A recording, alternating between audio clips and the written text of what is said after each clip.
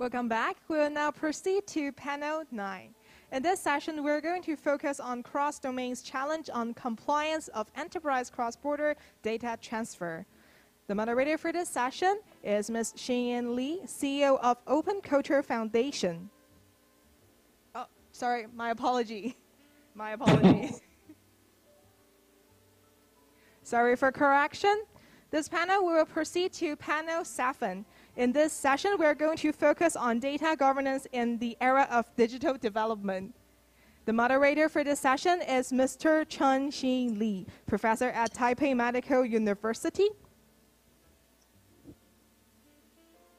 Apologize. Yes.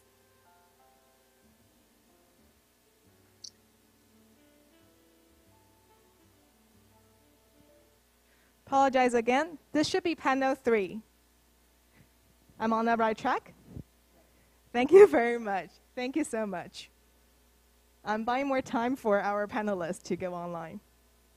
We're going to focus on blockchain domain under global internet governance in this session, panel three. The moderator for this session is Mr. Henry Tai, adjunct professor at NYCU School of Law. The session will proceed in Mandarin, so the introduction will follow. 蔡志宏教授目前为阳明交通大学兼任助理教授，讲授全球网络治理、网络法等科目。参与本场次座谈贵宾还有刘星象网络中文资讯股份有限公司董事长、林宏宇奥果区块股份有限公司执行长，还有 Dot Asia 执行长 Edmund 以及李胜义阳明交通大学科技法律研究所研究生。刘董事长与 Edmund 今天也会在线上参与。我们来先确认一下，刘董事长是否听得到我们的声音呢？啊，清楚，谢谢。谢谢刘董事长。那我们现在就把时间交给本场主持人，欢迎蔡志宏助理教授。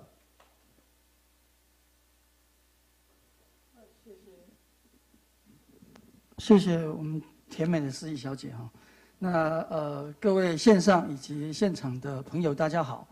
那很高兴。今天大家共同来探讨这一个场次的主题，叫做全球网络治理下的区块链域名。那呃，我是蔡志宏啊。那目前我是在士林地方法院服务啊。那呃，去年我也参加了这个 TWIGF，那我用的呃名称就是士林地院的庭长哦。那因为去年讨论的是域名的扣押跟没收，那我们法院还跟得上这个议题。那今年已经进化到了这个区块链域名来讲来讲的话呢，其实目前法院还没有区块链域名的案件，哦，所以我就用我另外一个身份，就是我们交通阳明呃科法所的兼任助理教授哈。那我们今天几位呃呃呃那个 panel 的来宾，刚刚司仪小姐介绍了，那我再稍微从我的角度来做一下介绍啊。那第一位是我们的盛呃李胜义同学呃研究生哈，那他是我自己指导的研究生哦，就是在交大科法所，呃，应该是我第一位在有关于域名方面的指导学生哦。那很高兴今年终于有年轻人可以来接棒了哦，就是我觉得这个网络网际网络的发展呢，一直需要有年轻的心血投入了哦。那经过了几年的耕耘呢，很高兴看到交大科法所。在网络课程方面，呃，网就是网络议题的相关课程方面呢，我们今年开设了呃蛮多完整的课程啊，也就开始了有许多的研究生来选修，那么甚至已经有研究生以这个为题，希望作为他将来的发展方向哦。那呃第二位是我们有名的果壳律师啊，那由于因为这一次的议题，他呃牵涉到区块链域名，那我自己先前做了一些相关研究。那就是不断的看到这个我们呃林大律师的大名啊，所以这次特别把他邀来。那我们刚刚在线下啊做了一些交流啊，那个有点相见恨晚的感觉了哈。那第三位这个呃是我们刘新向刘董事长哈。那我在写博士论文的时候呢，中间需要对于产业进行访谈哦。那刘董事长就是我重要的访谈对象了。所以讲起来呢，在域名这个产业哦。我们刘董事长的这个网络中文呢，在台湾已经是呃老字号、老品牌哦。那么用用我们这个智慧财产专业术语来讲，已经是属于著名商标的等级的了哈。好，那今天非常高兴邀请到他，从传统这个域名 registrar 的角色啊来看待我们新的区块链域名哦。那最后一位是我们呃最重要的贵宾，就是从我们 iCan 的董事哦。那我自己一直以来在以这个研究 iCan 作为对象的时候，呃，一直一直觉得，一直希望这个 iCan 的董事呢，有能够是我们亚洲出生哦。虽然那个他他的章程有规定的，会有我们亚洲出生，那最好跟台湾特别近的。那我们的张董事应该算是呃跟我们最熟悉的啊。今天应该他应该出席了三场哦。那我那个圣意告诉我，他可以讲一口流利的华语了哈，所以等一下也这个呃，呃要听他的高见哦。如果要讲英语也可以了哈。好，那我接下来讲一下我们为什么会有这个动机要呃办这一场的研讨呢？那么最主要是我我们在接呃去去年呃年底到今年年初哦，看到了这个呃 Dot Hit Hub 这一个传统顶新顶级域名。的移转案哦，发生一个很大呃风波跟争执啊。那双方跟这个 ICAN 呃，就是说申请方跟这个 ICAN 呢，在公开媒体上面，乃至于这个利用了 ICAN 的许多呃的机制哦，进行攻防哦。那我个人觉得很有研究价值，所以我就跟盛义讲啊，希望请盛义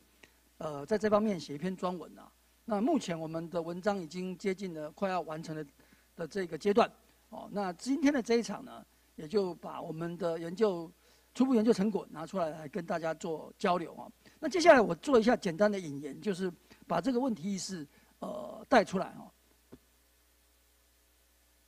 那第一个，我们传统的域名它具备的这个呃特性啊，它是一种稀缺资源。那它主主要的是就是让呃人类可以来记忆哦呃网络上的位置啊。那它有一个很重要的。呃，现象是它其实，呃，在传统网络网络一开始就讲说不受到控制啊，但是实际上传统的域名其实受到了阶层控制。最重要的，它来自于呃根域啊的控制。那这个根域呢，目前就是由 ICANN 来做呃治理哈。那像我个人呢，特别为了研究目的，哦，申请了这个叫菜点哦 Today 的域名哦，就是为了学习之用啊。大家等下可以 browse 一下。上面有个人的呃线上名片啊。好，那 DNS 的运作原理其实它是递层式的，也就是说，呃，当你需要浏览一个域名的时候呢，你会需要先跟 root name server 联系啊，然后他告诉你你的这个顶级域名位在何处，然后接下来你再去呃造访顶级域名它的 name server，告诉你你所需要的域名在何处啊。那所以说，它这个就产生一个阶层控制的现象啊。你一旦控制了顶级域名，那你就控制了往下域名的存在哦。所以它如何治理其实非常重要。那这是区块链啊，区块链其实它是一个建立在我们传统网络上面的网络应用哦。那它呃有个特性是分散式的账账本，也就是它的资讯记录其实被同时保留在非常多的节点上面哦。用这个来达到不容易造假的目的了。那在上面的很多应用，包括这个哦，我们最常。最熟悉的加密货币啊，那么它在货币上面它需要有一个呃钱包位置，那这个钱包位置其实非常的长啊，所以它同时也产生了一个跟我们传统呃呃网际网络相同的需求，就传统网际网络需要把 IP address 转换成 domain name 让人类好记，那我们在呃加呃区块链上面的钱钱包位置因为也很长，我们也有这个需求需要把它转换成人类好记的这个名称了，所以就产生了。所谓的区块链域名了，那么，哎，这个我刚才有介绍。那除此之外呢？因为我刚才讲的这个阶层控制的原因哦，所有的顶域呢都被控呃都由 i c a n 来治理。所以如果要申请顶域的营运的话，哦，按照最近一轮的 G 呃刚实施呃二零一六年实施完的这个 New GTLD 的 Policy，其实你要申请。呃，一个顶级域名要十八万美金以上啊，十八万五千块美金左右啊，所以不不是一般人都能申请，所以它顶域受到控制哦，一般人难难以申请。那根据这两个限制呢，目前呃这两个是限制或者是需求啊，那么在区块链上就产生了所谓的区块链域名哦。那像所谓的 ENS 域名呢，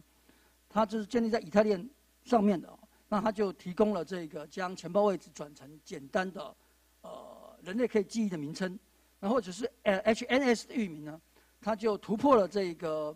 呃阶层控制的限制啊，将顶级域名提供给一般的网络使用者都可以来申请啊。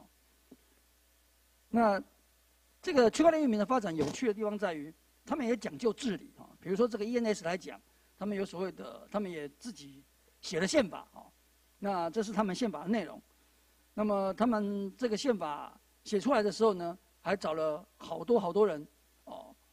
呃，好多好多的这个呃呃 domain name 来签署了哈。哦，大概有近五万名呃五万笔的这个注册资料啊。那甚甚至于这些域名呢，有些还绑定了 NFT 哈，所以大家可以看得到这个画面上，哦，他们这个绑定当时签署的这一些呃域名有哪一些哈？那这个是 ENS 的运作原理，也就是说，其实它还是需要一个 registry，然后记录着每一个呃这个钱包位置，它所对应的呃解析器在哪一个呃智能合约上呃智慧合约上面哦。那当你需要造访这一个呃区块链域名的时候呢，它就会呃经过这个 registry，它会告诉你这个区块链位于哪呃，它把它把它转译成原始的钱包位置。好，那。呃，HNS 的域名，呃，等一下可能要留在果壳来跟大家做分享了哈。好，那这个是我为了这个实验呢，也为了教学研究，我自己申请了 ENS 域名啊。大家可以看得到，在呃荧幕上有看到这个域名叫做 Henry Chai 点 T，呃 ETH 哦，就是 ENS 域名。那我之前想要买 H，呃 NS 域名，发现有点困难，因为它必须用比特币来买。啊，那而且我去浏览发现这个 a 呃，当然要买这个域名最有价值，当然直接买菜了哦，哦，就是要直接买菜，但是菜已经买不到了，哦，那退而求其次就是买 Henry 菜，发现当时发现也买不到，因为它当时非常便宜，哦，所以被一大堆这个先进人士啊，像我们果壳律师啊，他们他们都注册走了，那一直到我们这次要进行这个研讨的时候，我又重新再 check 一遍，哎，发现可以申请了。所以特别申请了这个域名，来跟大家做交流了，所以也十分感谢这次有这个主办单位有这个场合。好，那我比较关心的，作为这个域名的研究者，我比较关心的就是说，这些区块链域名它是如何跟传统域名来兼容的啊？那我这边介绍一下 HNS 它的 policy 啊，它比如说它保留现有的顶级域名不提供申请，哦，其实它是不希望跟传统的 DNS 直接有冲突的。这个在我们做呃。DNS 研究的时候，其实经常在讨论这个议题，因为一大堆人想要替代这个 ICANN 的治理哦。那最严重的情况就是，你有一套，我也有一套，那我们的名字还相冲突。那 HNS 它不采取这这一个走向哦，它是保留现有顶级域名，因为现有顶级域名大概只有几几千个了哦，那都是人家花钱申请，他不要让它有冲突，他所以他不提供申请。那除此之外呢，那些流量很大的。这个域名呢，他也不提供申请，那意思就是说，这些人，呃，确实有它的正当用途。那么在网络上，其实已经等同是什么？呃呃，这个既有的这个用制裁法的观念，就是说，它其实是呃先前就已经有存在的商标，它故意呃它刻意保留，不要跟它这个发生冲突。那最后是说，传统域名呢，可以用 DSEC 啊来确认你的身身份之后。也可以让你来申请 HNS 哦，那 ENS 其实也采用这个模式了哦，那这样可以确保在传统域名跟区块链域名呢，它使用者会是同一的哦。好，那这一次的讨论议题呢，我是预想，但是不限制我们今天的参与者参与讨论了。第一个就是有关于呃我一开始提到的 Hip Hop 这个申请移转案的风波哦，那稍待声音应该应该会给大家介绍，然后提出一些评论。那其他的讲者如果有些想法或回应的话，也十分欢迎哦。那再来就是我们讲这个区块链域名，它未来要如何处理抢注的问题啊？那么，如果是别人已经有了商标，在区块链域名的世界如何看待这件事情？那在我们传统域名的世界，我们已经用了 UDRP，也就是承认了实体世界的这些商标，我们认为它在网络世界是有相关权利的了啊。那还有它相关的消费者保护问题，因为在这一次的呃，点 HitHub 案件当中呢，这一个发生了速度的增值啊。那么 ICANN 方面的立场可能会认为说，这个区块链域名对于这个消费者保护是不是还有不周之处了啊？因为不是每一个人都可以理解区块链域名啊。然后接下来这个问题是我自己提出来，就是哎，我感觉到我刚刚特别提到它是如何 HNS 是如何跟呃这个传统区块链呃传统域名呃相融的话，就就是要讨论的域问题就是两者可不可以共存共荣？我有一个想法就是，就像我刚才会申请域名，我的需求当然是，无论我在传统域名，我在区块链域名，我最好在每一个世界都用同样一个名字，那这个名字才有最高的价值嘛。那如果说两边都可以有一个机制，可以让我在呃两边用同一个名字的话，那这个呃这个域名应该有最高的价值。那其实两边的世界应该也就可以共荣共存啊。那再来就大家可以谈一谈这个 ENS 跟 HNS，还有甚至于其他的区块链域名，它未来有什么展望哦？特别是这一周好像这个以太坊特别以太链特别把从 P O 呃 W 啊，变成 POS 啊，不知道对这个有没有什么影响呢？我我就来不及做研究啊。如果我们讲者有知道了，麻烦跟我们 share 一下。那最后我们就讲讲这个网络治理呢，I can 面对区块链应该有的立场，然后全球网络治治理的脉络啊，也就是我们整个 Internet Community，大家到底应该如何看待区块链域名这件事情？那接下来我们是不是就请这个生意来跟我们做分享？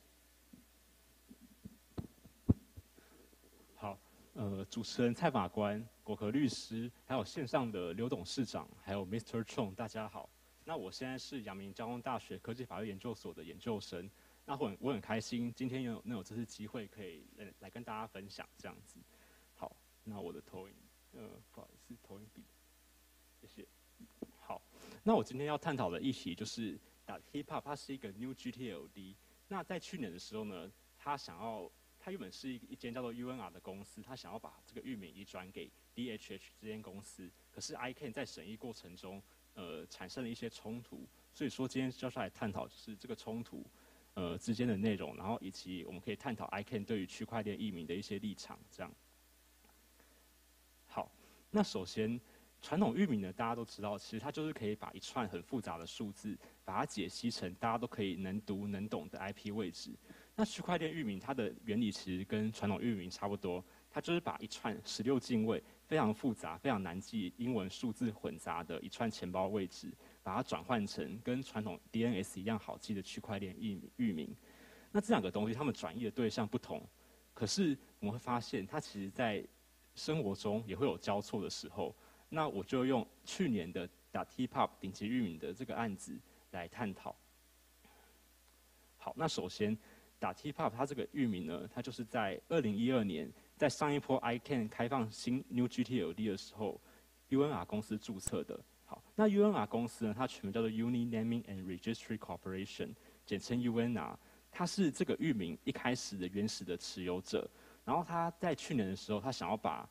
呃他所他持有的全部的顶级域名全部拍卖出去。那其中一个得标人就是打 TPOP 这间公司，简称 DHH。他是这个域名的被转人，然后他们在移转间发生了一些冲突，这样子。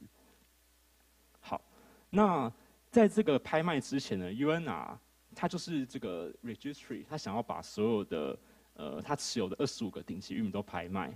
那他在拍，他想要拍卖，他可是拍卖它有一些噱头嘛？那它的噱头是什么？他就是说，他把他所有的二十五个。顶级域名都去 ENS，就是以太坊域名服务上面，把所有的同名的顶级域名全部都注册走。那这样子，当他在拍卖的时候，他就可以主张说：哦，当你得你得标了这个顶级域名，那我同时也可以把 ENS 的这个呃以太链的域名一一样移转给你。那其中我还会送你一个 NFT，那这个 NFT 就是你可以表彰说你持有这个域名的所有权。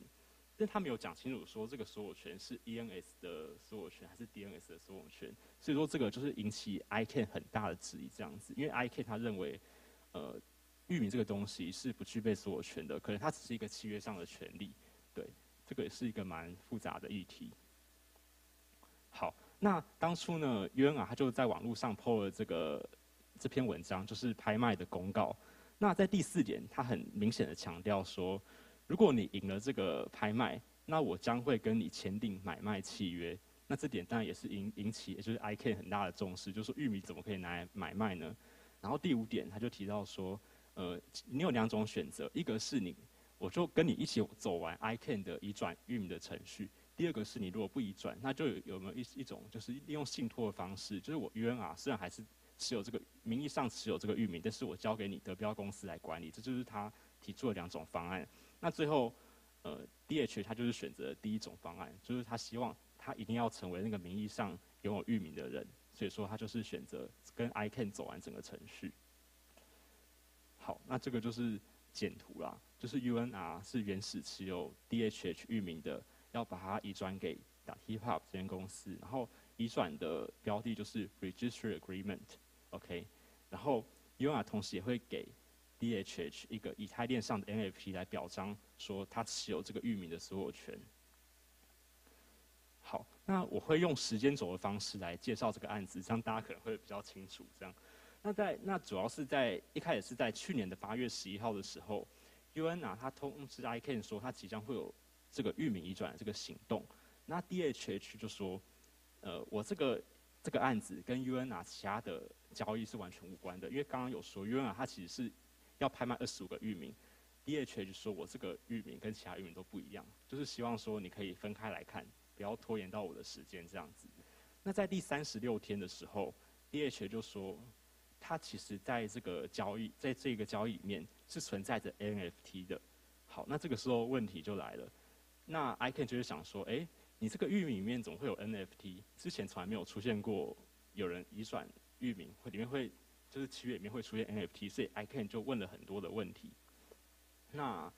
所以说 DH 他就回答 ICAN 说，呃，NFT 它只有存在于 DHH U U UNR 这两间公司之间的契约，然后原始的 UNR 跟 ICAN 之间所签的 Register Agreement。就是它跟 ICAN 之间那个契约还是最原始的，是不包含任何以太链上的东西的。所以说，我不管怎么样都一定是以 I Can 的 Register Agreement 为准。就是不管我我那个私人间的契约怎么写，NFT 怎么写，那其实都没有关系。所以说，在那之后，I Can 就回复了，就是在第八十六天的时候，ICANN 回复说，呃，他们觉得说，好，那假如你承认 Registry Agreement 是可以凌驾在你们的契约之上的那，呃，然后我就会很快的完成了我我的评估，所以说我就希望可以很快的移转这个这个域名给你们。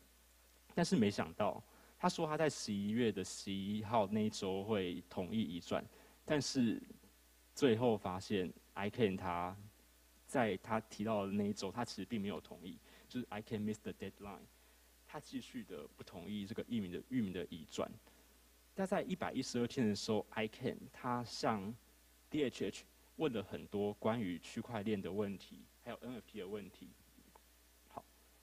然后，下一页会谈到对，所以 ICAN 他问了下列几个问题。然后第一个问题是说，ICAN 他想要了解什么是呃智能合约，而且并且要确认说它是不是存在于 NFT 当中。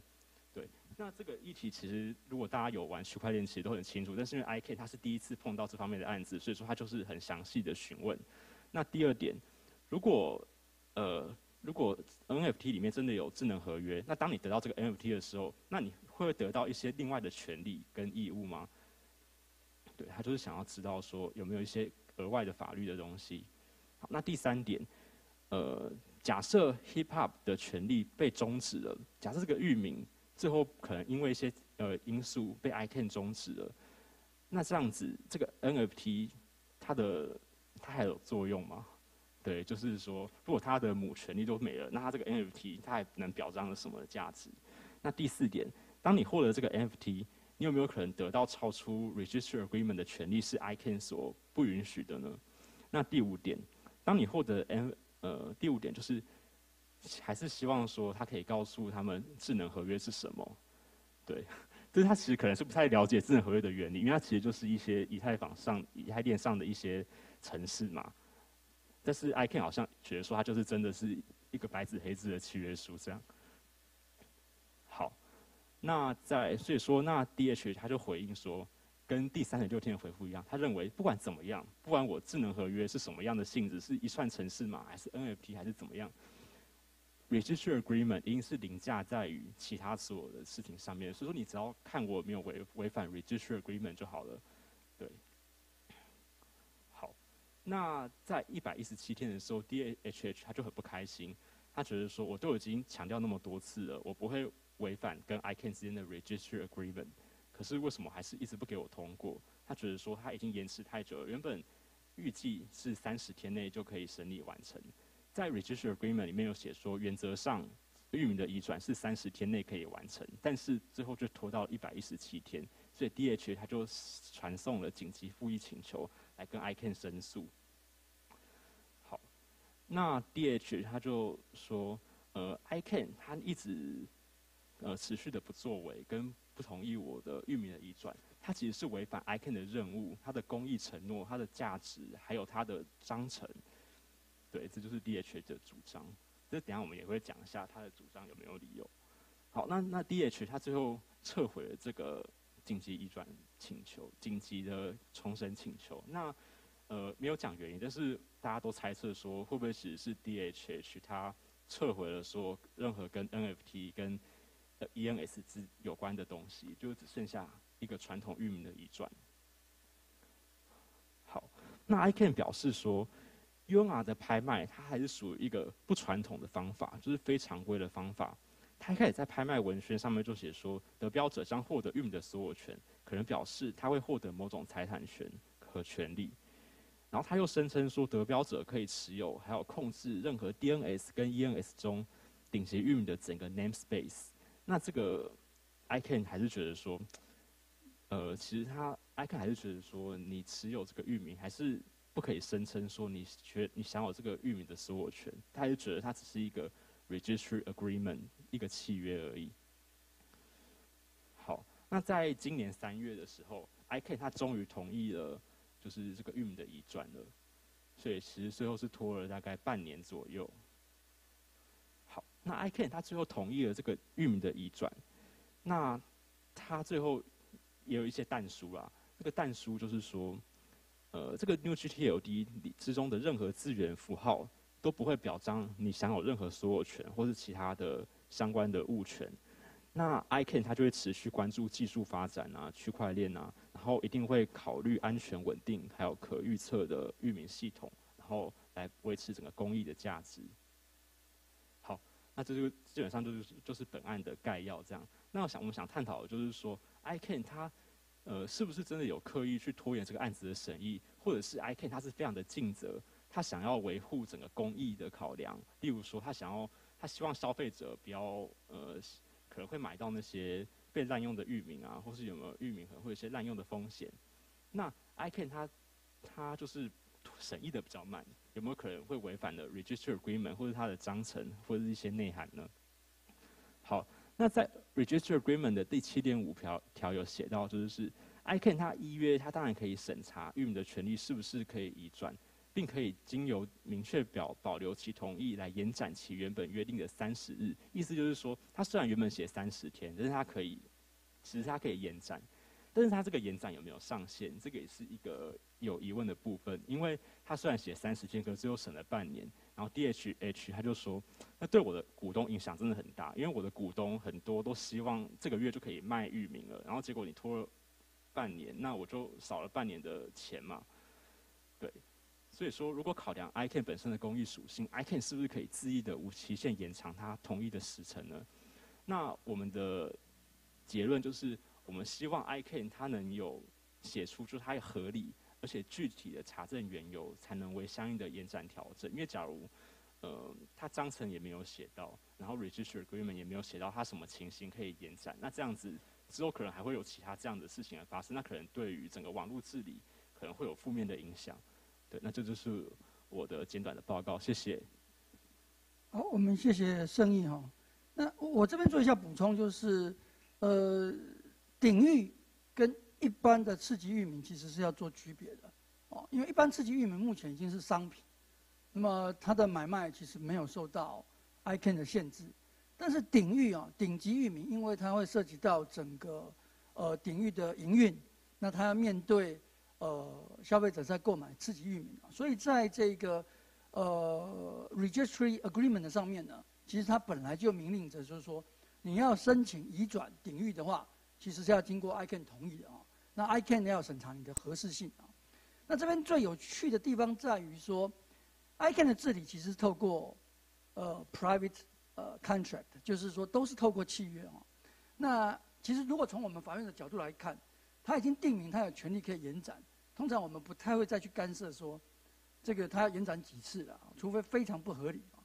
但是 ICAN 其实在这边角色是不太一样的啊，所以我们刚才在生意就讨论到这一点，就是呃 ICANN 它是为了公益而存在的啊，所以我们在最后研究的这个方向跟呃可能的结论上，就是希望说，哎，这个区块链域名到底如何影响了？这个领域的移转呢，我们希望可以看到更详细的内容。那或许也出自于我们对于区块链域名的还是不够了解啊，还是说呃这个 ICAN 已经比我们了解。那接下来我们来听一下区块链域名的专家果壳律师对这一点的说明。是感谢这个我们蔡教授，还有 TG TWIGF 以及我们线上的刘董事长，然后 Mr. 仲，还有我们的李研究员的这个分享。那各位好，我是林宏宇。那在区块链圈，大家习惯叫我果壳。我今天我算是代表，哦，我是代表我们澳果区块顾问来跟大家分享有关这个区块链域名。我们澳果区块顾问主要是在协助业者，不论是导入 NFT Web 三，或者是导入区块链域名，我们希望提供一些协助跟一些咨询。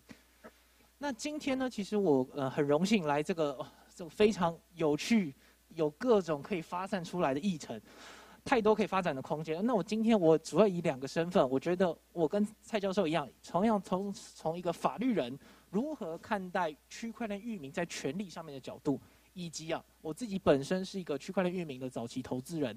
跟传统域名世界以及我们 ICAN 如何看待这样的一个新形态的一个域名系统，我给一些我的一个观察跟看法。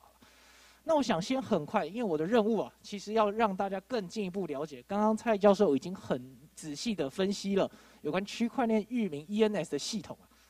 就我整体来观察，我们我们要谈治理的同时，我们必须要看我们到底要治理的对象是什么。呃，我我在过去在法律人的呃时间呢，其实我们那时候有帮 NCC 就这个网络治理跟网络言论啊，我们去分析了。这个全世界各国立法力就于网络言论管制上面的一个做法，所以后来有了这个数位中介法的这个前身了。所以我们完全了解在网络治理上面这个的困难点，而域名在这方面也有很大的一个角色在。首先，在传统域名，我们把 IP 视为是一个最古早的一个网络原生的资产。其实每个域名，大家都有一种，我拥有这个域名，我就好像拥有它某一部分指向这个 IP 位置的权利。那区块链域名也是，其实 NFT 区块链域名背后，例如 ENS 的这个 NFT 啊，它就把这项权利啊写在区块链的链上。所以刚一直讨论到这个拥有权，这个所有权，在我的解读是，在区块链域名里面，你的 NFT 表彰了你的链上资产的权利。你拥有这个 NFT，你就可以在区块链的链上取得某些权限，而这个权限是其他人没有办法干涉你，没有一个中介机构可以阻挡你说 yes or no。所以某程度啊，NFT 本身啊，它就是把这个数位资产的这个权利做得更加的具象化，是一个链上资产的表彰。而现在这个 ENS，我们很快的，我认为目前区块链域名系统只有三大系统，ENS 它是算是把整个呃我们的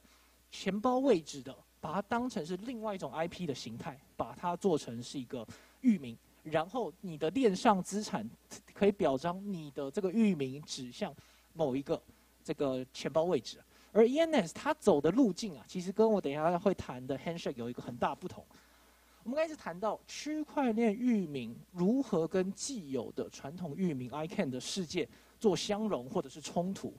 ，ENS 走的路径是这样子。他先把钱包位置当成是另外一种 IP 位置，然后做成这个 NFT 的权利。可同一时间，他所有的域名的这个尾巴都是打 ETH 作为顶级域名的结尾。而这个顶这个顶级域名打 ETH，其实你去查，它其实在 ICANN 的这个 roots file 里面也有打 ETH。它背后啊其实是一个地理的这个呃地理国家的一个顶级域名，其实是伊索比亚。而伊索比亚很有趣的地方是，它的缩写可以是打 E 打 ET 或者是打 ETH，所以现在 Ethereum 的这个这个这个这个社群啊，他们在想象一件事情，他们也想要结合 ICAN，他们也想要结合传统域名，他们的路径是我们先统治了整个钱包位置形态的区块链域名，下一步他想要去争取让 ICAN 把这个伊索比亚的可能人使用度很低，或者说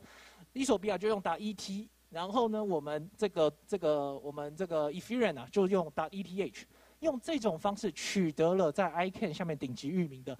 这个权利以后，他就可以把 IP 位置跟这个钱包位置这个域名系统扩展，而且甚至融入到传统域名世界。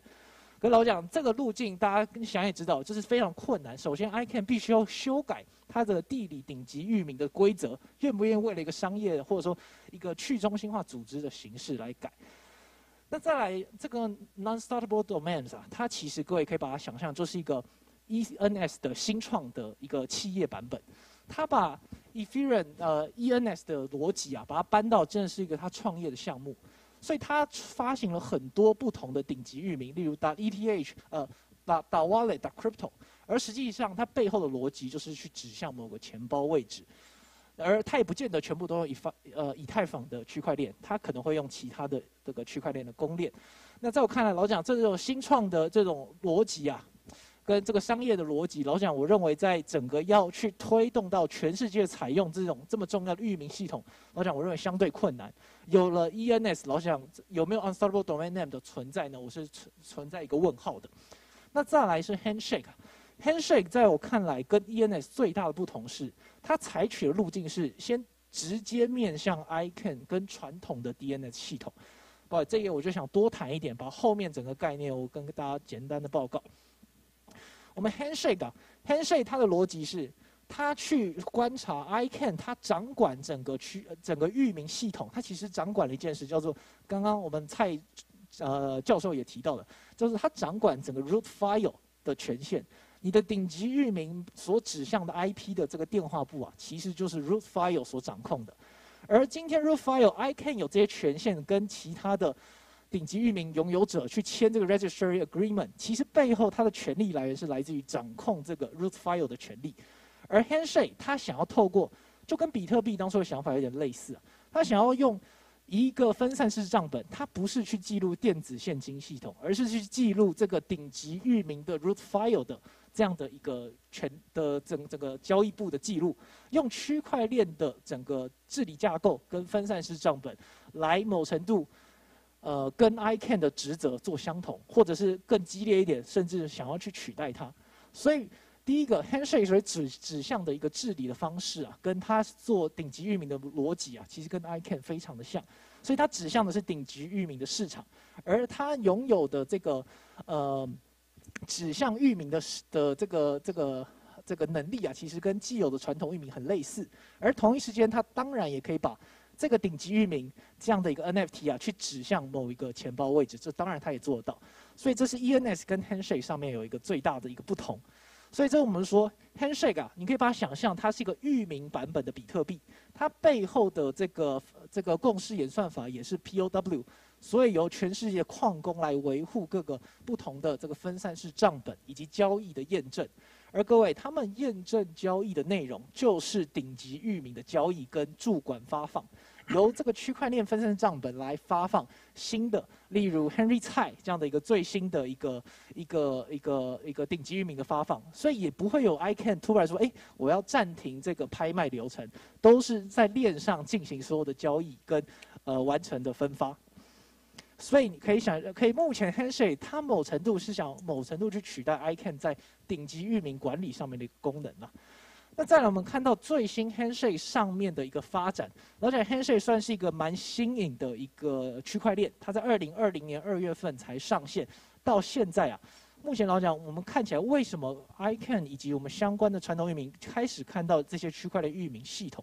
除了 ENS 以外。Handshake 我们发现到，它在切入传统域名市场上面，它得到了我们老讲蛮讶异的一个其中的一个布局。其中第一点就是最大的，我们说第二大的传统域名商，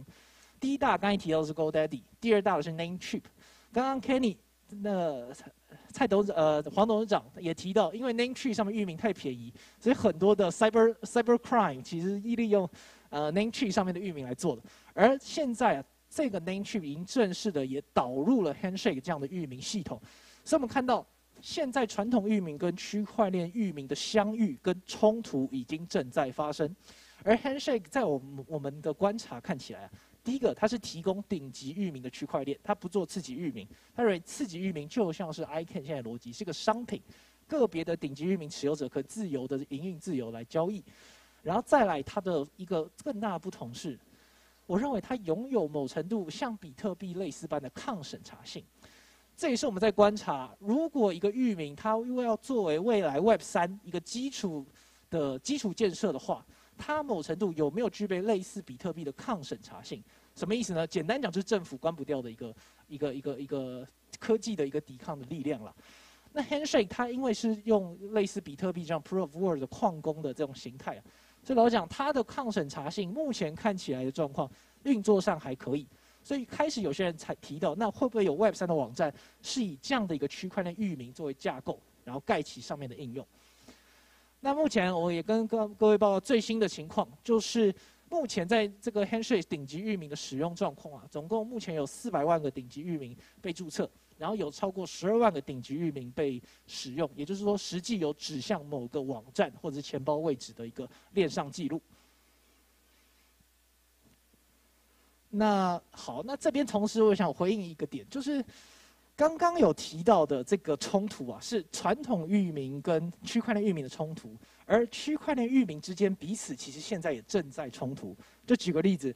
，Unstartable Domain Name 啊，这个新创公司。他宣称他拥有类似 ETH 一样，他有一个 Dot Wallet 这样一个非常好的名字的顶级域名的驻管服务商，他把自己当成是一个 Dot Wallet 的驻管服务商。但是呢，其实这 Dot Wallet 并没有出现在 ICAN 的这个 root file 里面，它就是一个区块链的域名。可是同一时间，Handshake 它也发放出来一个 Dot Wallet 的顶级域名。所以变得是，Unstoppable Domain Name 的跟 Handshake Domain Name 的使用者取得这样的 NFT 的持有者开始产生权力的冲突，同时都在使用这个。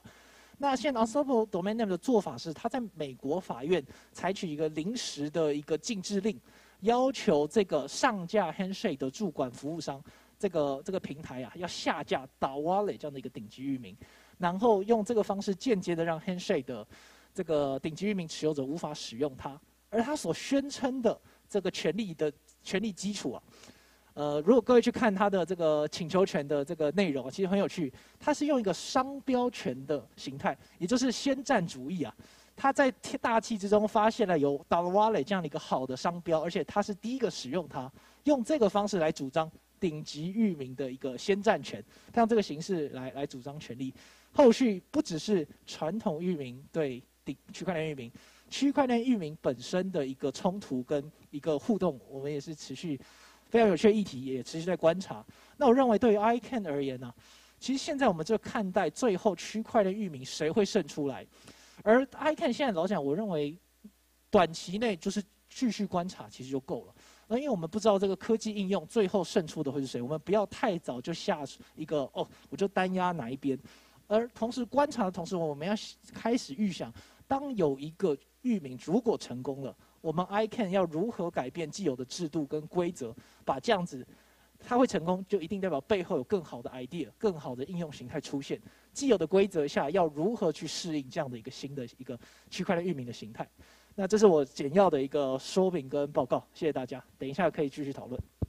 好，谢谢果壳律师精彩详细的说明哦，特别是他提到了最新这个区块链彼此之间也会发生争议了哈。那其实传统域名在发展过程当中哦，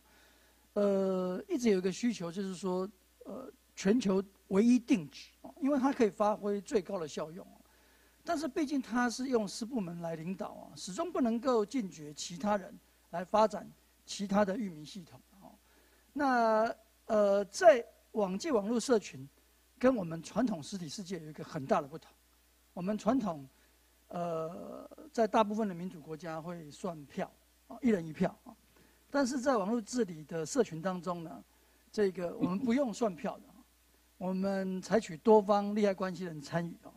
那因为彼此对于这个利害关系的不同，那么其实应该反映的是你不同的票或者是不同的力量啊，那这一点在现实社会做不到，但是在我们的网络社会做到了，哦，那比如说这个 Registra。在整个网络世界当中，就是一个非常重要的 stakeholder，因为一个网络政策的改变对它的影响跟对我们的影响其实是不一样的哦。所以在呃 ICANN 也好，在网际网络社群也好，Registrar 或者 Registry 始终扮演一个非常重要而不可或缺的角色。那接下来我们就请我们的刘董事长从 Registrar 或 Registry 的角度来看待我们新兴的区块链域名以及相关的争议。来，刘刘董事长，请。哎，呃，听得见吗？可以，可以听到。谢谢。OK，好，不晓得我的画面现在分享了吗？有。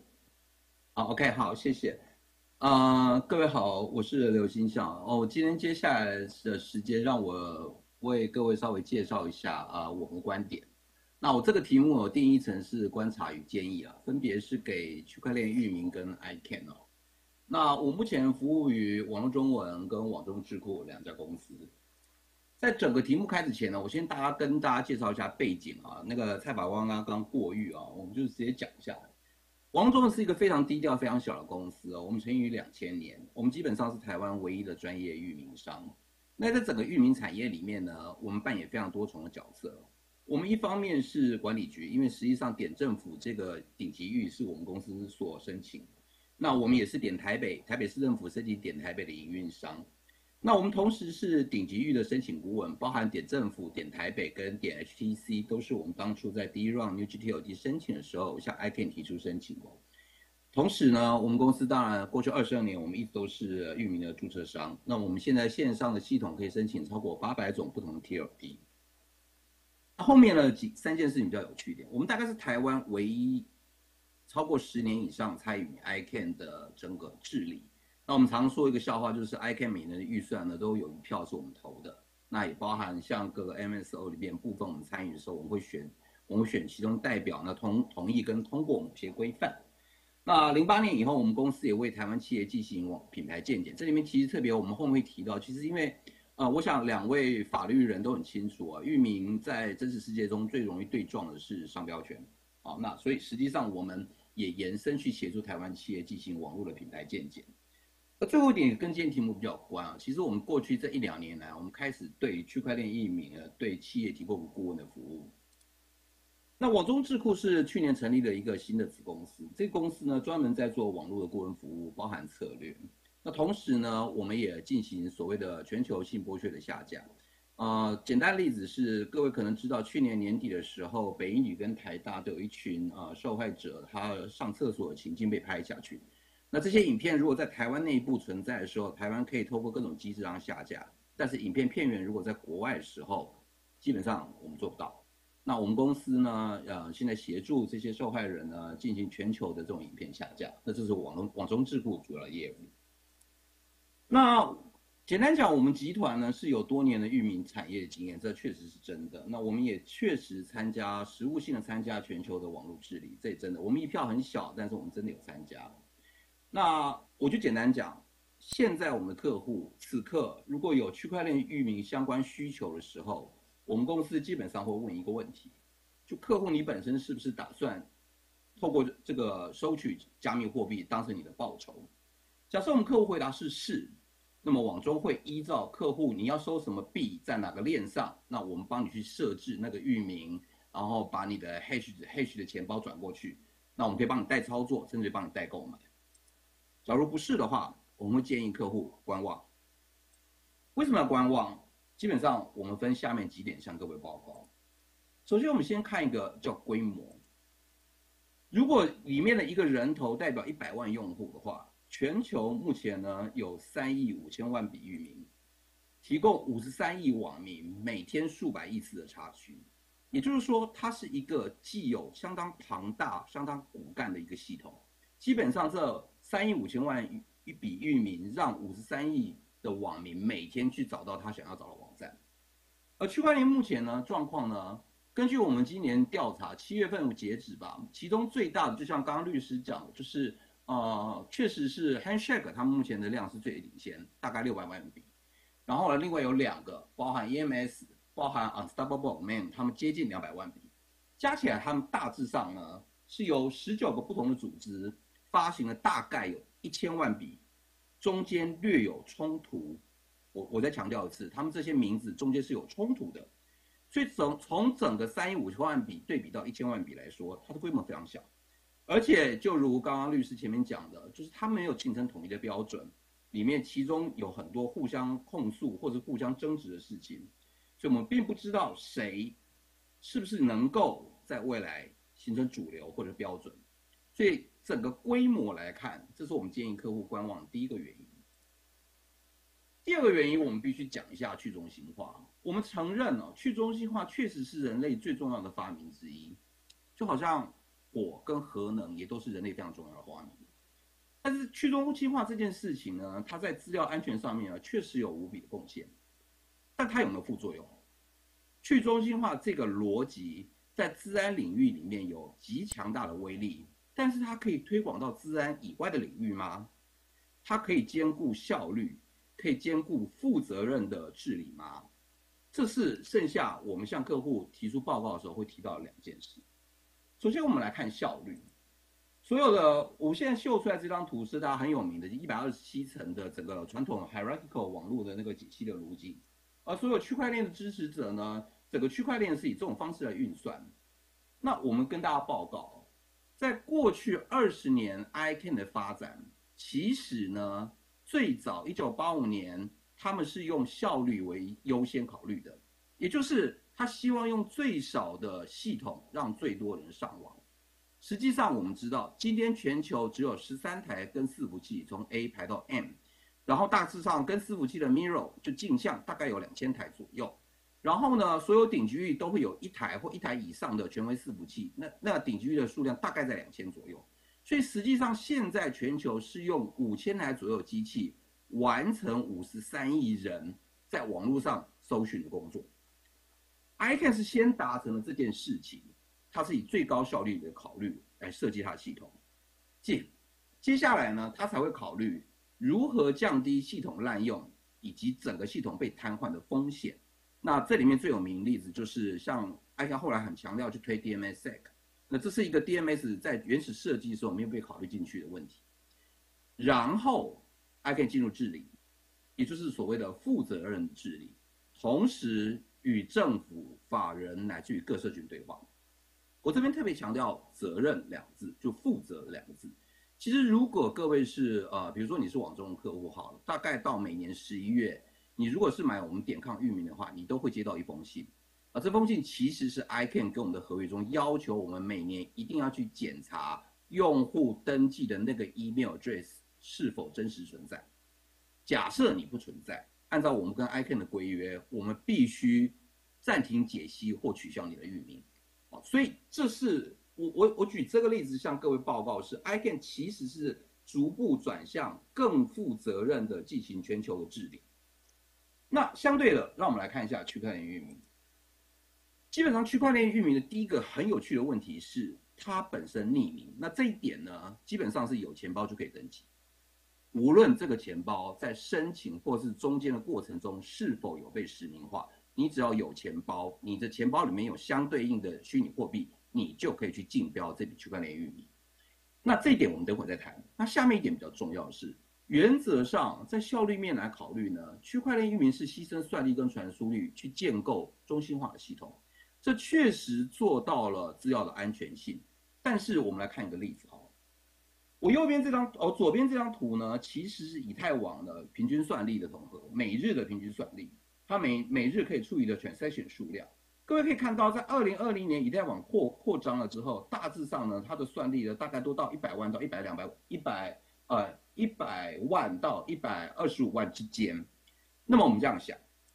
以 EMS 为例，假设三点五 B，三点五亿笔域名，你全部要转成 EMS 域名的话，因为我们知道 EMS 续域名，假设我们又说它这些域名呢，申请的时候续用呢是每十年才续一次，不是每一笔域名每年都续一次，所以你一年大概需要处理三千五百万笔域名的续用，你每天大约要处理十万笔，那大致上呢是你以太网目前每天能处理 transaction 数的十分之一弱，也就是说，如果任何一个区块链域名的业者，企图让自己的区块链域名成为全球域名的骨干，那么你的效率上极可能需要做非常大，甚至是指数型的扩张，你才能满足五十三亿人全球几百亿次的查询。那当然，这里面就会出现另外的问题是，你查询是不是可能延迟？你的更新续用是否会延迟？你你要更换一个 DMS record，你会不会被延迟？甚至于是不是有可能因为你 gas fee 出的目前竞价的 gas fee 太高，于是你这笔资料没办法写进去，这都有可能发生。这也都是区块链域名它必须解决的问题。第三点呢，我们要谈一下治理啊，治理这个面向大概是我们这次呃 TWIGF 的主题啊，那我们就花多一点篇幅跟大家谈一下。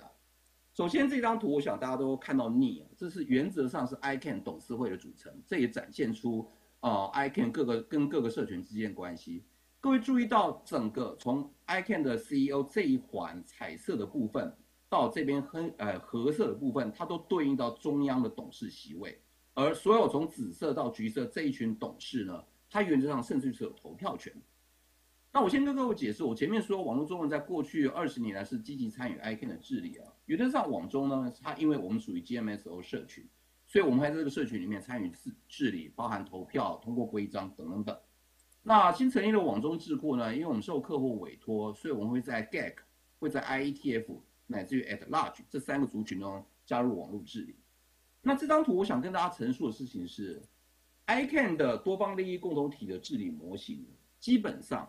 它涵盖了政府、区域管理局、个物管理局、注册商、技术、治安、跟伺服器社群、维权组织、非商业组织、非营利组织，甚至于 ICAN 还涵盖了非 ICAN 缔约方。也就是说，任何一个网民，你今天如果对整个网络治理有意见、有兴趣、有想法、有提案，你都可以到 At Large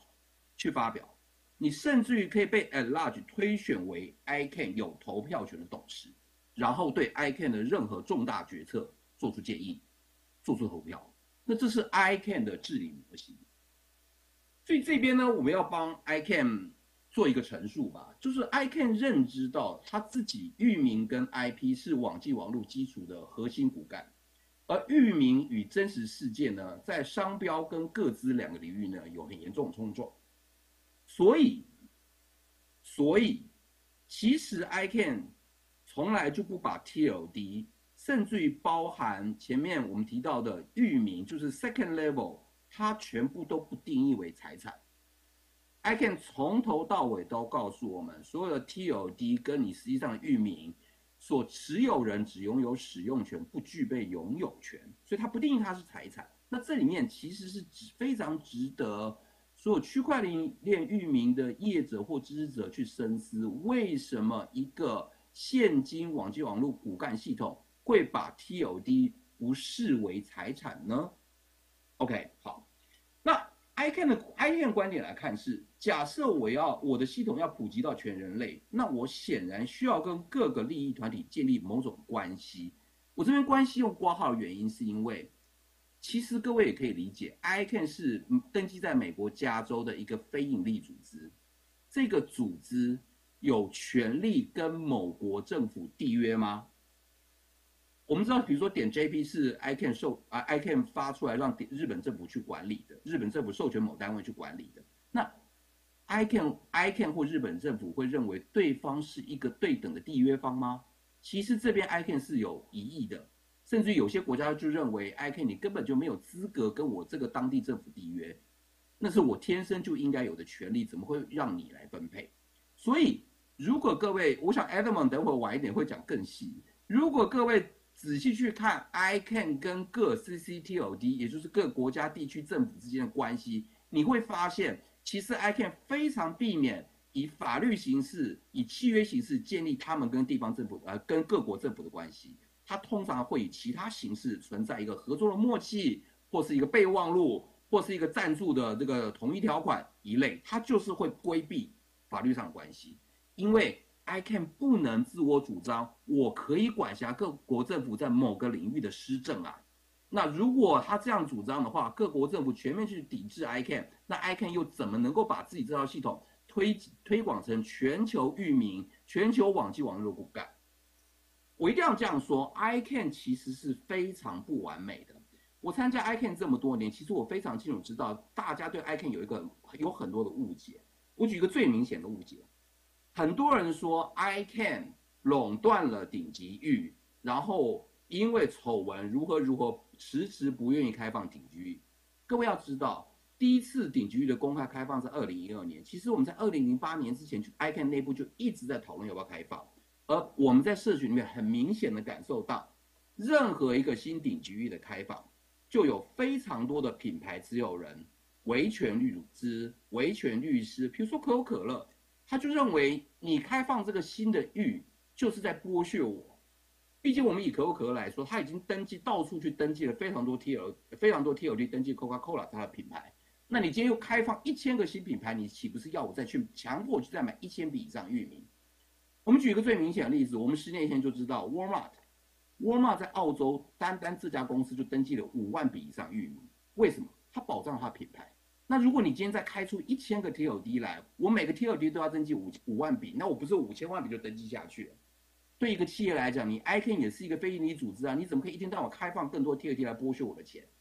所以我一定要帮 I can 澄清，I can 不是不想开放，I can 非常想开放，问题是。在我前面表达那么多利益体团体中间，有非常多的组织是反对开放的，是对你开放的步骤有质疑的。哦，跟沃尔玛这这种例子只是普通的例子而已，更不要提 Amazon，那是非常有名的典型例子。你看，哎，你看那个 Adam 中都笑成那个样子。Amazon 这个例子，我们在 Gay 可能吵到翻天了，因为它涉及的是一家美国超级强大的公司，也涉及南美洲地理名词。那这个名字到底该不该过？该给谁过？它本身就是个争议问题啊。OK，那我们接下来看，以当今区块链治理的模型，我们来看几个案例。首先，让我们来看 Unstable Domain 这个 domain 呢，特别强调呢，它跟 IPFS，也就是星际档案系统整合。那星际档案系统是什么？简单讲啊，它就是一个永远没有办法被法被删除的点对的网络硬碟。你把它想成一个大云端硬碟，然后里面资料丢进去就删不了就好。二零一七年刚好就是五年前了，有一个很经典的案例啊，让我们来观察他们治理会发生什么事。二零零二零一七年加泰罗尼亚独立事件的时候呢，当时加泰罗尼亚地方政府呢打算要举办公投，而西班牙政府判断判定这场公投是非法。那那因为你地方政府需要通知所有的选民，你要什么时间去哪里投票，对吧？可是西班牙政府说：“哎，你这个投票是非法的，说我我禁止所有的法律服务系统啊，所有的邮务系统帮你递送。”所以他们就想到说：“那我把整份投票清单，就是某某人某甲你在什么时间要去哪里投票这种清单，整个放到 IPFS 里面去，因为 IPFS 是不可以被消灭的，所以我放上去了，这公告就永远存在了。然后呢，为了保护各自呢，我就把身份证号、生日。”跟邮递区号，再加上 H 值加密之后呢，公开。所以任何一个用户，透过我传授你的解密方法，你可以取得那份文件解密之后，知道你什么时间点去哪里投票。这件事情有没有成功？有，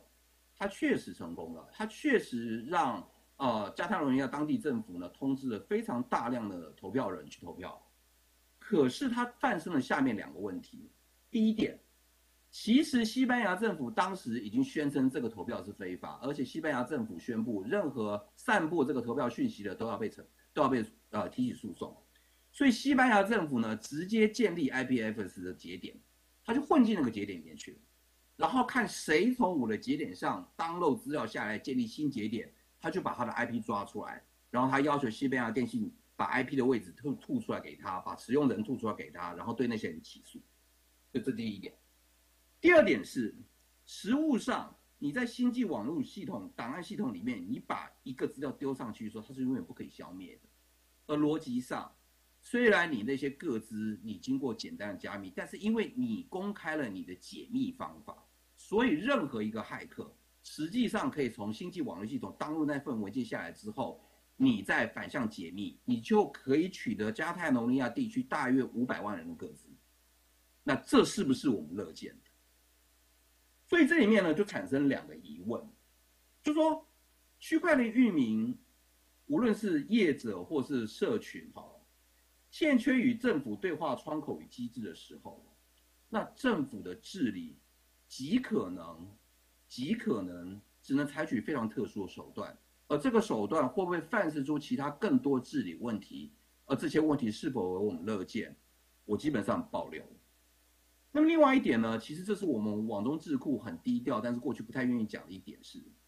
当任何不当内容丢进了一个去中心化的系统。比如说新电网、星星际档案系统，它不可以被消灭。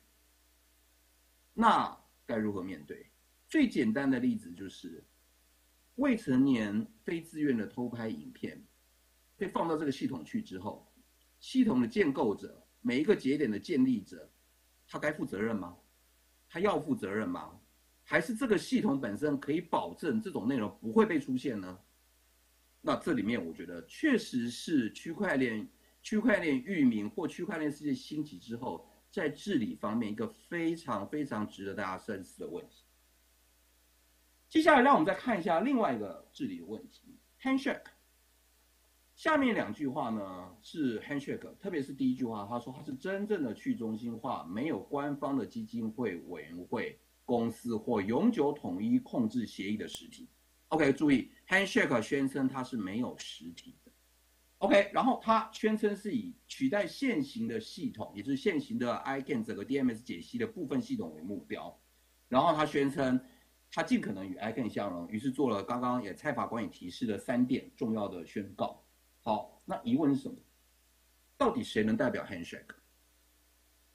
我们前面已经说过，i can 跟非常多方不同的利益团体进行对话与沟通，包含政府、包含法人、包含执法单位、包含权利关系人。那么，如果 Handshake 你是希望你取代 i can 全成为全球的骨干网络系统，那么当这些法人或这些利益团体需要沟通的时候，他该找谁？谁代表 Handshake？如何沟通？谁代表？我不知道。第二点是，前面三个 I can 相容的三个政策，谁保证为真？当然，因为 Core is law，所以有可能他直接写在 Handshake 的智智能协议里面，这没有问题。但问题是。可不可以修改？那如何修改？举个例子来讲，你为什么定义的是 LXA 前十万笔？为什么不是 I can 的呃商标资料库，比如说 TMCH 里面的前五十万笔？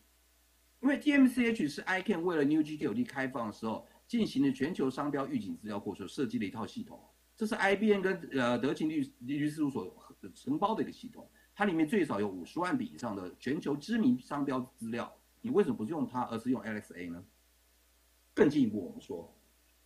你前面你在第三点说 I 呃你的 Ican，呃就对不起，你前面说第一点是保留现有顶级域不提供申请，你意思是说在 Handshake 里面你保留了 I can 目前已经发出去的接近两千笔顶级域，你不不提供 Handshake 的申请。那么反过来是 I can 在第二 round New GT 要开放的时候，是不是要需要为 Handshake 保留 Handshake 现在已经发出去的所有顶级域？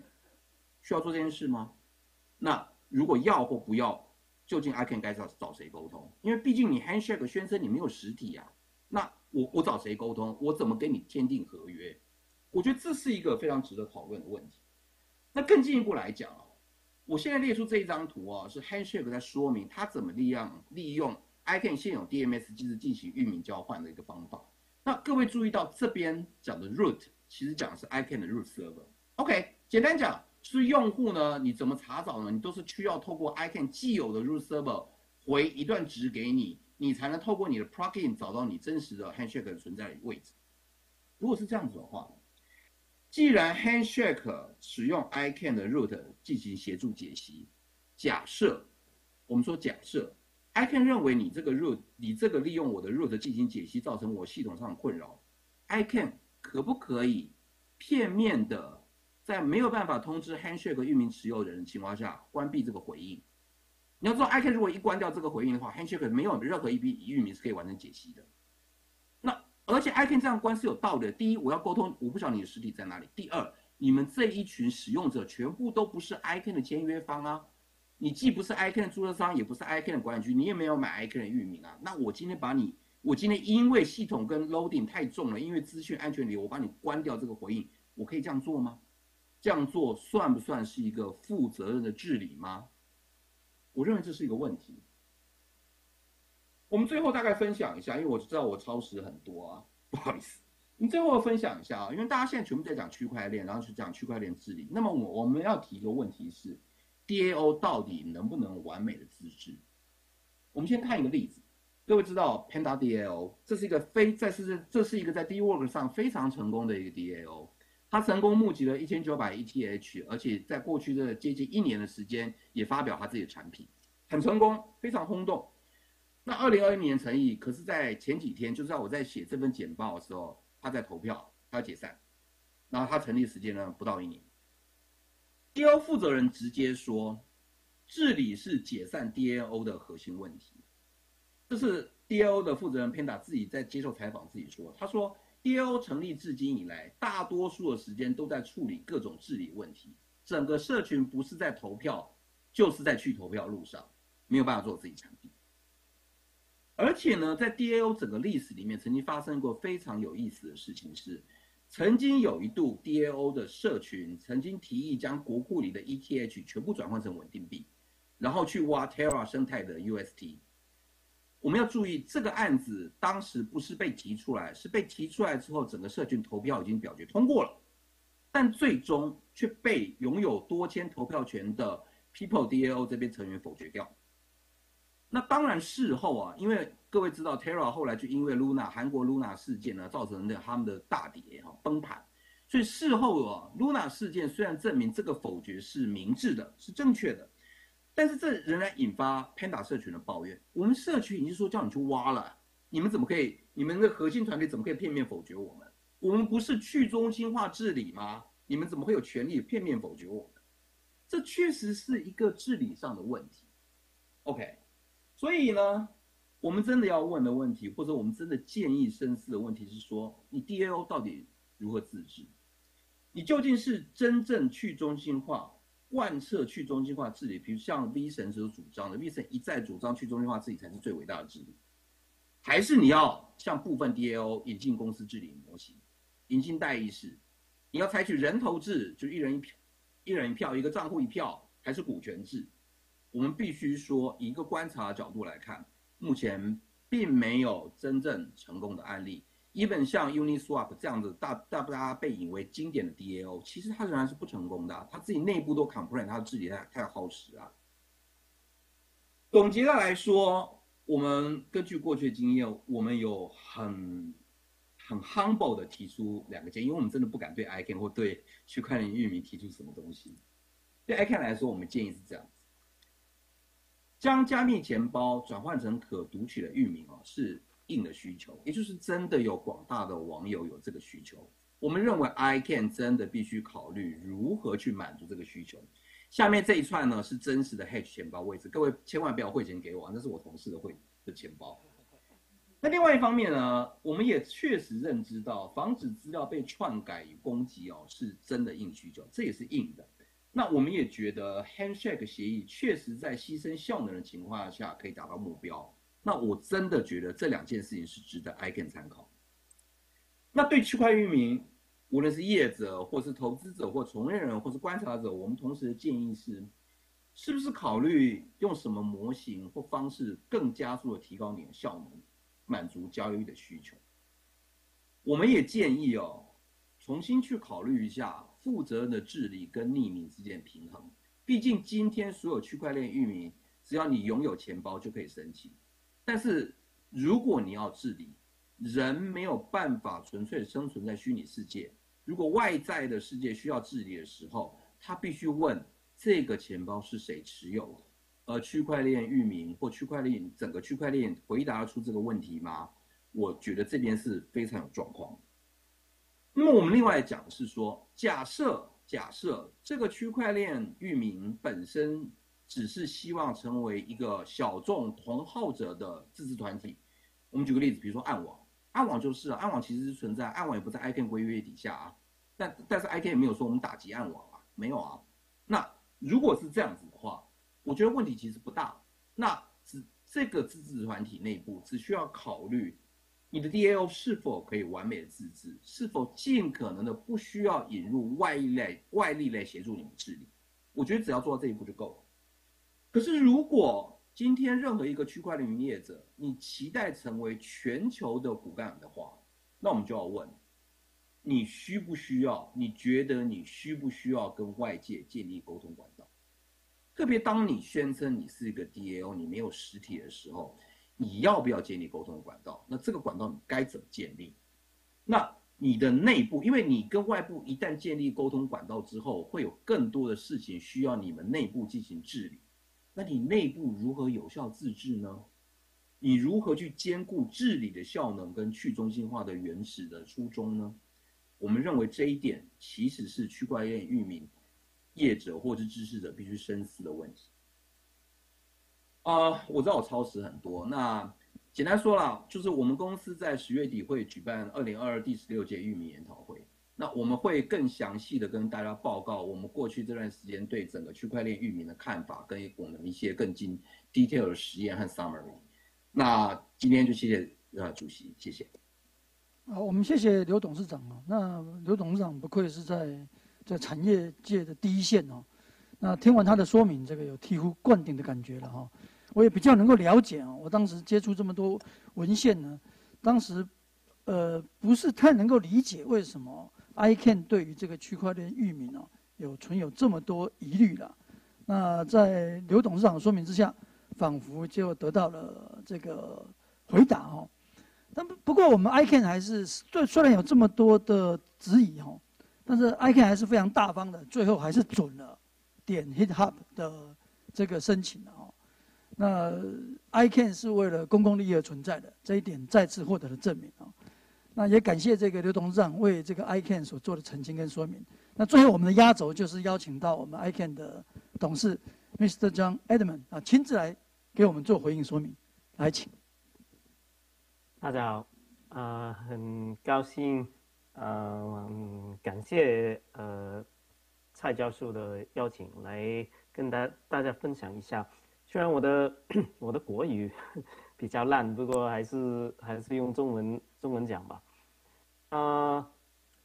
其实今天早上的那个呃呃讨论会里面，我已经对于这个呃区块链呃域名这一块讲的蛮多，所以我不会重新重新讲一次。不过几个重点会会讲一下吧。啊，不过先谈一下这个点 hip hop 这个事情，因为反正这个是这个 panel 的一个一个重点了。啊，首先我我要先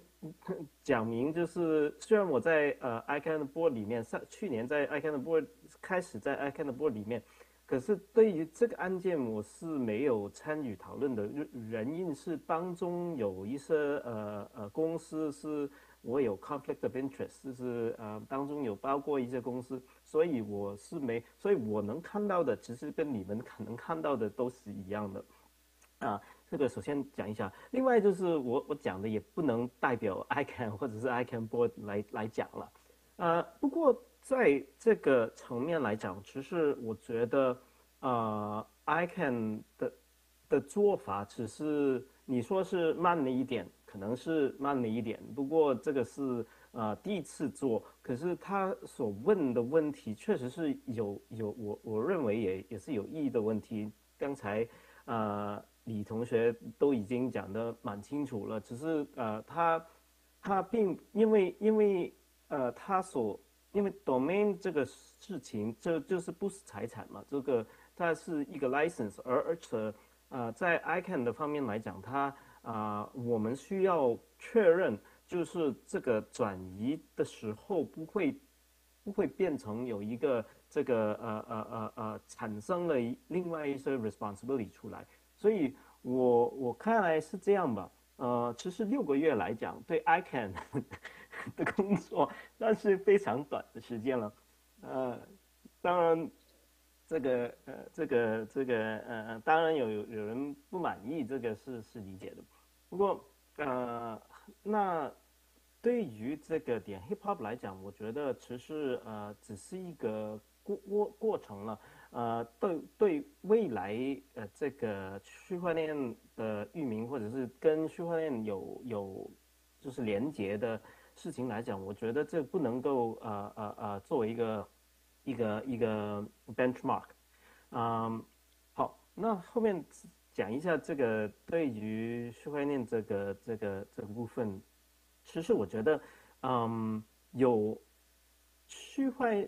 说块链域名这个概念要搞清楚。其实刚才也也也有一点混乱。我认为是有三个方面，三个不同的层面。一个是它的用途，你说。它转换成为这个 wallet 的或者是那个那那串，其实你用 ICANN 的 DNS 也能做这个事情，只 是一个 DNS record 而已，啊，根本不是要另外的，其实也是域名的系统，这个是第第一点很很重要，我我希望搞清楚的，啊，所以并不要，并不是必须要用 ENS handshake 或者才能把它。作为一个转换，其实也只只不过是一个 TXT record 在 DNS 里面的。第二点是这个去中心化这个这个这个事情，其实 DNS 本身就是一个去中心化的一个一个 structure 啊，这是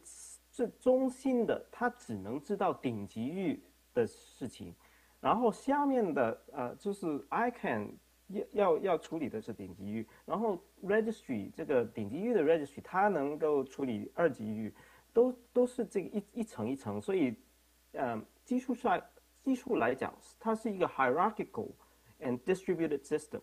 啊，所以另外一点就是，如果你看这个呃区块链的链的呃域名，其实它也是有中心化的，因为你的那个 root zone 也必须要是。unique 不是同一个，不不能是呃呃分分散去去做，其实它也是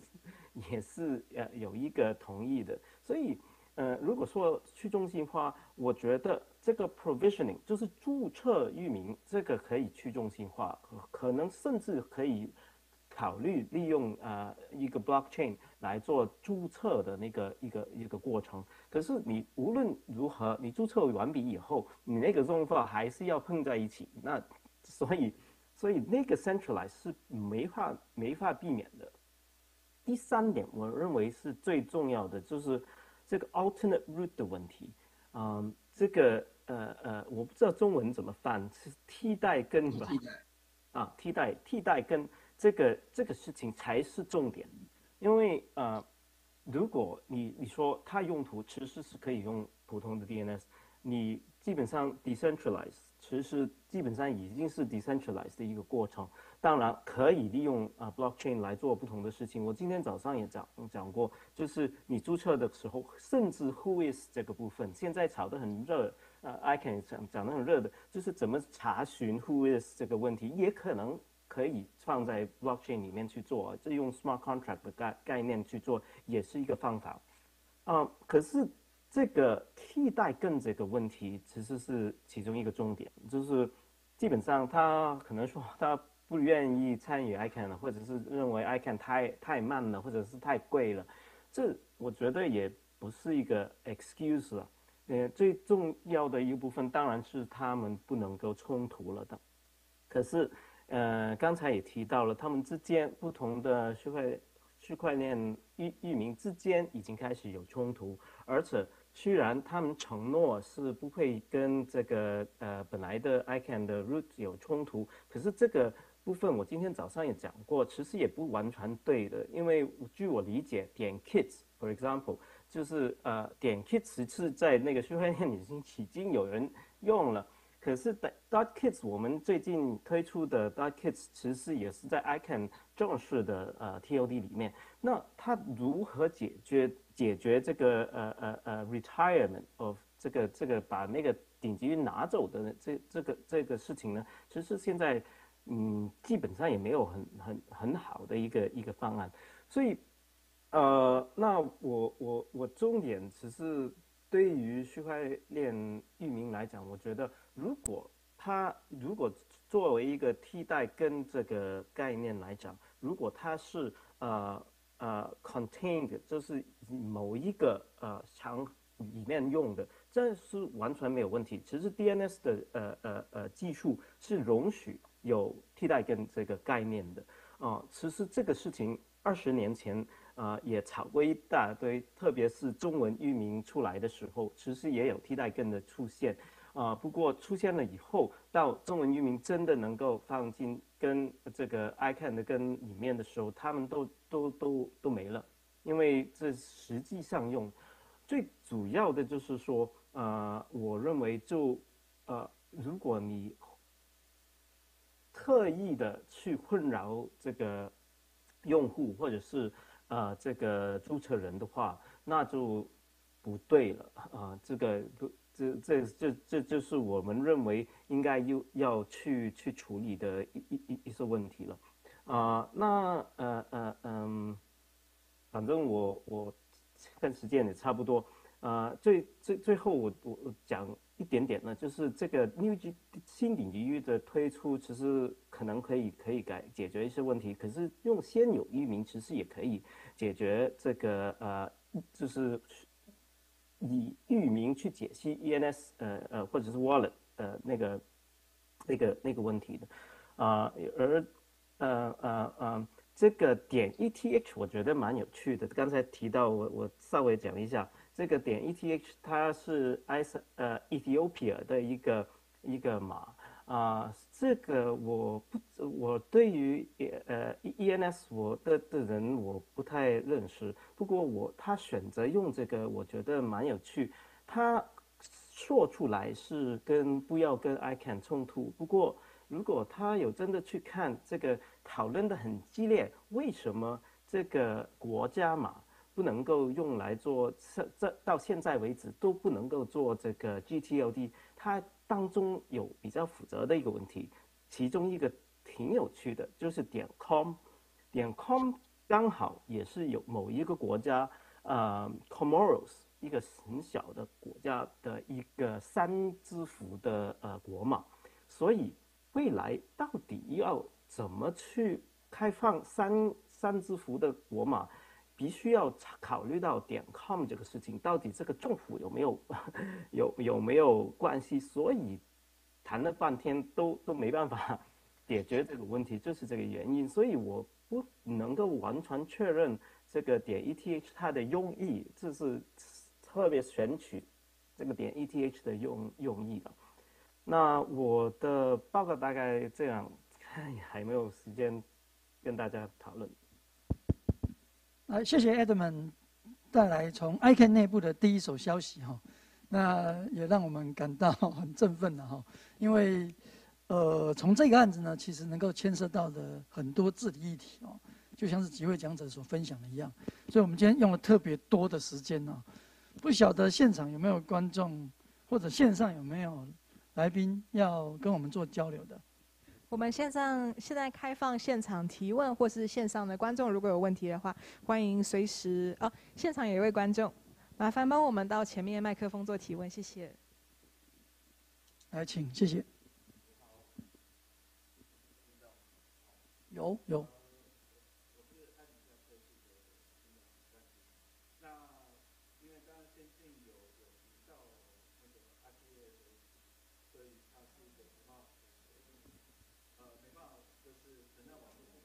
线上的没听到这个问题。啊，声音听不到吗？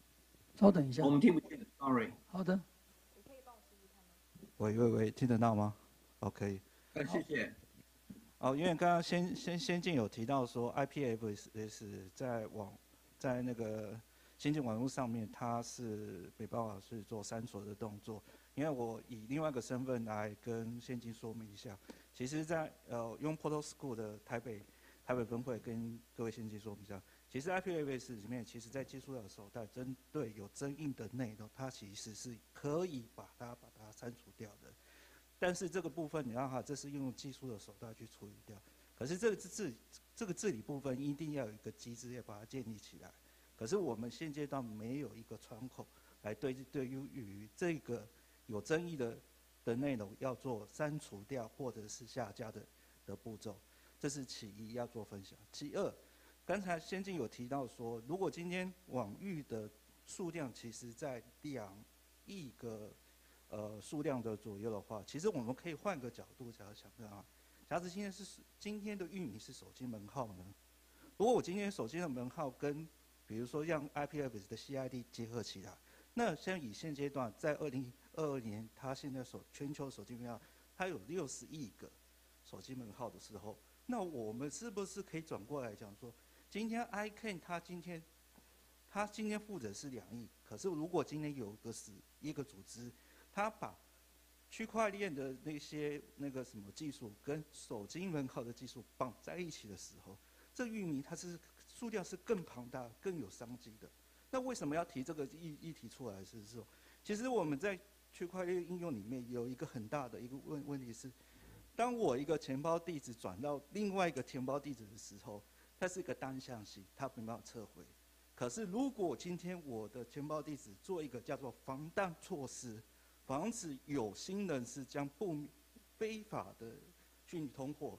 发送到特定的指定地址的时候，有个防弹的作为的时候，域名的保护它其实一个是一个很好的应用方法。那我如果我们可以用过所谓的，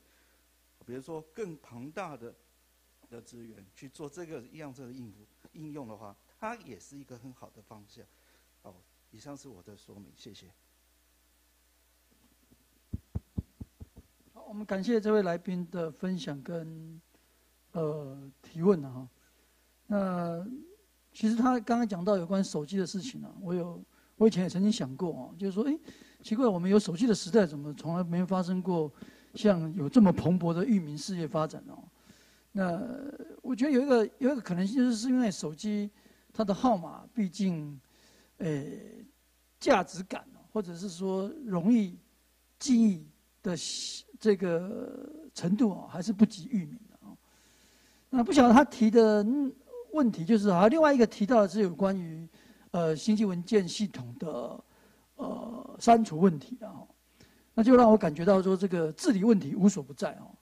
那 iCan 之所以能够存在至今，就是因为它用的人最多，也就是说它的治理的效能哦，它能够服务到最多人哦。那所以它付出的治理成本。就是有价值的哦。那新兴产生的各种系统，如果人数不足的话，它其实是担负不了这么高昂的治理成本的啊。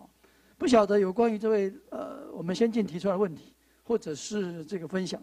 我们讲者有没有要回应的？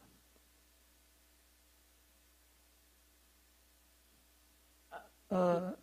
，Edmund，不不是回回应我，我觉得呃呃听听到呃他的 comment。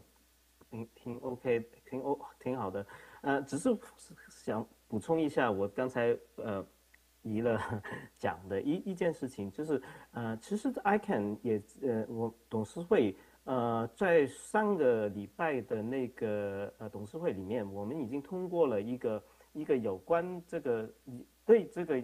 有相关的一个事情，就是那个。Private use top level domain 就是私人用的呃顶级域，这个是你可以随便随便去去用的啊啊，但并并不是一个 alternate route，而是在 icon 的 route 里面，我们会设立一个啊，你可以个人去用的，所以呃这个呃呃，你用的时候就不不不能跟其他人冲突，其实跟啊 IP 地址的那个一九八呃。呃，一九二一六八那个呃概概念是一样的，是是你你你四人用的，那个呃都 TLD 啊，这是呃 ICAN 已经通过，所以如果是要试用某一些事情，某一些呃科技的话呢，其实是可以用未来这个可以用这个 private 的那个 TLD 来来做的。那谢谢这个 Edmund 的回应哦。那从 Edmund 回应跟还有他刚刚前面讲的，就是比如说这个我们点我们拉回来点 HitHub 这个案子哦，说这个虽然合约里面讲三十天可以延期，那最后是六个月之后来批准哦，那引发了一些讨论哦。不过我觉得这一些都呈现了整个网络治理的韧性了哦，就是有问题，然后面对问题，然后解决问题啊，然后我们反省检讨，然后再展望未来。所以还是一个值得观察跟有趣的现象啊。那如果没有问题，因为时间的关系，我想就要直接 close 这个 session。线上还有吗？没有了。那不晓得讲者之间有没有交互诘问的？没有。好，那我们今天非常感谢几位讲者精彩的分享跟这个报告哦。那希望在呃很快的未来，我们大家就可能够见面了。那到时候可以看到这个，无论是我们传统的域名或者区块链域名呢，都能够欣欣向荣，然后服务全人类社会，让我们得到有更好的福祉。好，那感谢各位，谢谢。谢谢主持人，谢谢各位语坛人，也谢谢各位贵宾。那今天的活动差不多到此进行结束。那如果呃现场的观众，我们的背后面有一个 QR code 可以提供我们您宝贵的意见，也还有建议。那另外就是线上参与的观众呢，我们在活动稍后大概一分钟后，画面中会有个 QR code，这边也可以帮我们扫码，然后填写问卷，提供你们的 comments。那呃明天的 session 会 feature 是 critical infrastructure, cybersecurity and resilience, digital governance and intermediary future of the internet. 明天我们会是上午九点开始，UTC plus eight at 9 a.m. We will featuring for tomorrow's session. For online audience, please note that there will be different YouTube link for tomorrow's session. 明天如果是线上参与的观众呢， 请帮我们注意会在 YouTube 下面的叙述里面有新的一个连接参与。We look forward to more fruitful discussion from the forum tomorrow. Thank you very much. 谢谢各位观众，谢谢。